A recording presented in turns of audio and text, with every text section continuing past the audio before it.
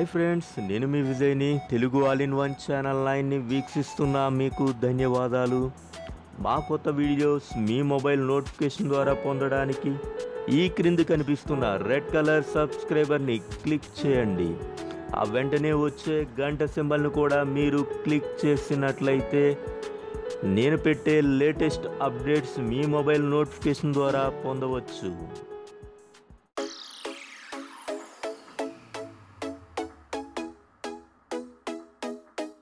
Hi friends నేను మీ విజయ్ని. Friends డిఎస్సిపై కొనసాగుతున్నటువంటి అనిశ్చితికి కారణం ఏంటి అనేది చాలామందికి సరైనటువంటి అవగాహన కూడా లేనటువంటి పరిస్థితి అయితే ఉంది. చాలామంది కోచింగ్ సెంటర్స్లో వాళ్ళు చదువుకుంటూ ఎప్పుడు డిఎస్సి పడుతుందో కూడా తెలియనటువంటి అయోమయంలో అయితే వాళ్ళు ఉన్నటువంటి పరిస్థితులు మనం చూస్తూ ఉన్నాం. ఇప్పుడు ఈ రోజున కొంతమంది కోచింగ్ తీసుకుంటున్నటువంటి డిఎస్సి అభ్యర్థుల యొక్క మనోగతాన్ని మనం తెలుసుకోబోతున్నాం. వారు ఎటువంటి పెయిన్ని అనుభవిస్తున్నారు? డిఎస్సి ఎప్పుడో తెలియకుండా వాళ్ళు ఏ విధంగా అసలు వాళ్ళ యొక్క ప్రిపరేషన్ కొనసాగిస్తున్నారు? కోచింగ్ సెంటర్స్లో వాళ్ళు ఏ విధంగా చదువుతున్నారు? వాళ్ళ పరిస్థితులు ఏంటి అనేది మనం కొంతమందిని అడిగి తెలుసుకుందాం ఫ్రెండ్స్. ఓకే. ఇక్కడ ఒక సార్ ఉన్నారు ఆయన్ని మనం ఒకసారి అడుగుతున్నాను.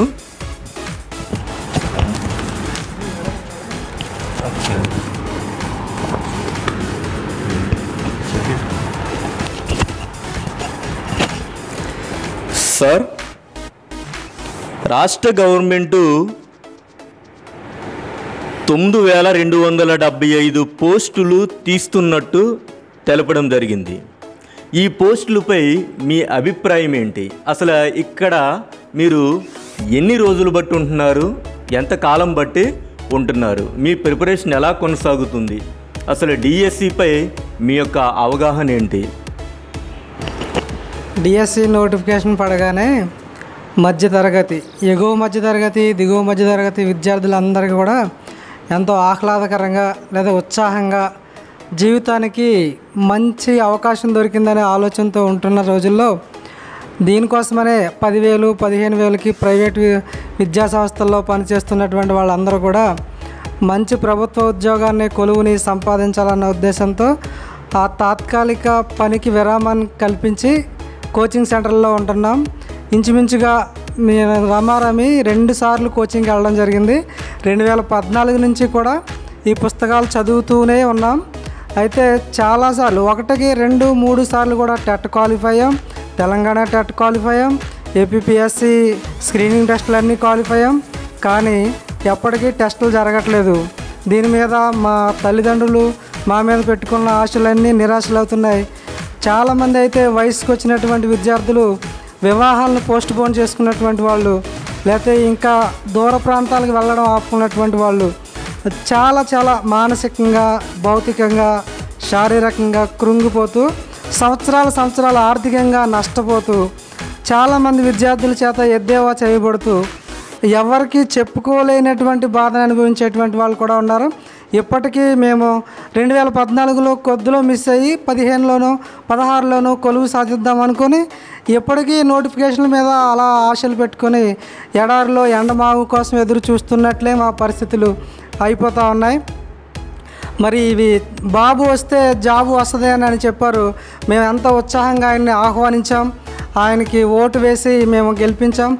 నోటిఫికేషన్ చూసిన లేకపోతే గంటా శ్రీనివాస్ గారు ఇచ్చినటువంటి ప్రతి ప్రకటనకి అత్యంత ఉత్సాహంగా మేము మాకు బ్యాగులన్నీ సర్దుకొని ఈ రూములకు వచ్చి చదువుకోవడం మరలా మేము క్లారిటీ ఇస్తామని ప్రభుత్వం చెప్పడంతో మళ్ళీ మేమంటే నిలవెళ్ళినటువంటి కూలీలు దుకాణం సర్దుకున్నట్లుగానే మేము సర్దుకొని మా ఇళ్ళకి వెళ్తా ఉన్నాం.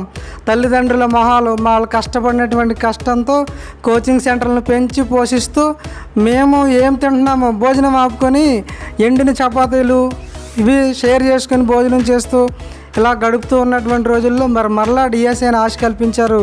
ఇది మళ్ళీ మా ఎడారికి ఎడారి ఎండిపోయినటువంటి చెట్టుకి మళ్ళీ తొలకరి జల్లులాగా అనిపిస్తూ ఉంది మరి. ఇది మా అందరి జీవితాల్లో మంచి కల్పించాలని లేకపోతే అనుకున్న సమయానికే జరగాలని కోరుకుంటున్నాం మరి చాలా విషయాల్లో పదివేలకు పైనే పోస్టులు తీస్తామని చెప్పి కూడా అది తొమ్మిది వేలకు తగ్గించారు. స్కూల్ ప్రభుత్వ స్కూల్స్లో విద్యార్థులు పెరుగుతున్నారనేటువంటి వార్తలు మేము విన్నప్పుడు అయితే ఉపాధ్యాయులు పెరగాలి కానీ విద్యార్థులు పెరుగుతున్న సమయంలో ఉపాధ్యాయులను తగ్గించడం అంత సమంజసంగా అనిపించట్లేదు. చాలా స్కూల్స్లలో పాఠశాలల్లో మరి అవుట్ సోర్సింగ్ అని లేకపోతే గెస్ట్లని తీసుకొని వాళ్ళ యొక్క ఆ, శక్తి సామర్థ్యాలను ఉపయోగించుకుంటూ రిక్రూట్మెంట్లు చేయకుండా జరుగుతూ ఉంది ఇవి మరి మానవ వనరుల్ని నిరుపయోగం చేయడమే అవుతుంది. మా శక్తి సామర్థ్యాలు కోల్పోతున్నాం. చాలామంది అయితే డిఎస్సి రాసేటువంటి అర్హత వయసును కోల్పోయారు. మా మటుకు మేమైతే నిరుద్యోగ భృతి వస్తుందనే చిరు ఆశతో ఉంటే అది కూడా మాకు దక్కకుండా పోయింది. ఇది ఎలా ఉందంటే దేవుడు వరం ఇచ్చిన పూజారి అడ్డుకున్నట్లుగా ఎండ ఎడారిలో ఎండమావు కోసం ఎదురు చూస్తున్నట్లుగా ఎప్పటికీ ఫలించని చెట్టు వృక్షాలను ఫలాన్ని తినేడా తినడానికి ఆశపడుతున్నట్లుగా ఉంది.